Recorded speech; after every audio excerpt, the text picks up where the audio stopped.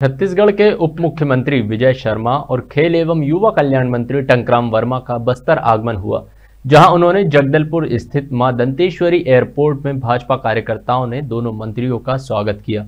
आपको बता दें कि आगामी 14-15 दिसंबर को केंद्रीय गृह मंत्री अमित शाह का बस्तर आगमन हो रहा है, जिसको लेकर तैयारियों का जायजा लेने उप मुख्यमंत्री यहाँ पहुँचे थे।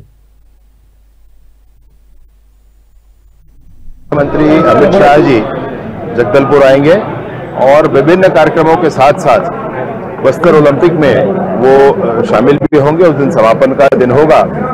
विशेष रूप से उस दिन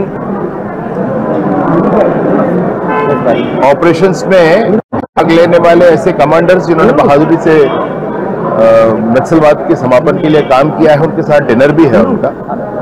दूसरे दिन सुबह 16 तारीख को दो मैंने शहीद परिवारों से मुलाकात और साथ ही साथ एक कैंप का भ्रमण यह भी उनका है।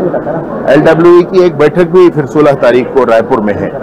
इस तरीके से एक रात यहाँ रुकेंगे और उस बस्तर ओलंपिक में भाग लेंगे।